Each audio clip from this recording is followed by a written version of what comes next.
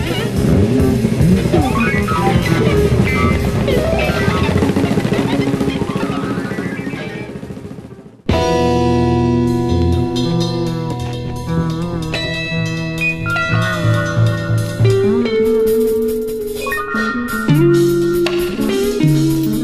σάλπαρε απ' τη σουραμπάγια με βενούσκε και χρυπάρια. Πεντακάταρτη ασπρή σκούνα γυάλο πόρτο αλαργινό. Κι είχε τσούρμο διαλεγμένο παλευκό άνθος βορεινό. Εφηβούσταρη φτιαγμένους στα πολώνια πάνω χνάρια. Και σ' αυτούς χάρμα ο Γιάνσεν σπερμαγερινή αγκάλης. Ελουλούδιζε όμοια σάμπος κάμπος να ήταν νεαρινός. Μες στα μάτια του όλος θάμπος λαμπιζό αυγερινό. Κυρεμούσε στη θωριά του ω και ο κόρφος της Μπεγκάλη.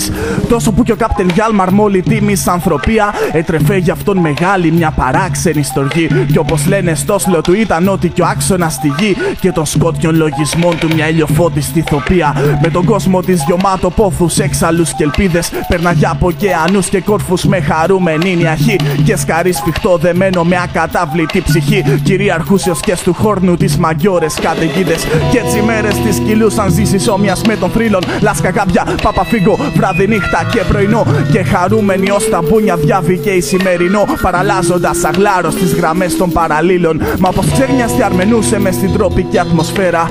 Μόλισε στα ξάφνου φύση ξόφρενο κατακλυσμό. Κι αφού πάλεψε λεστίγρης κόντρα σε άγριο εξοργισμό.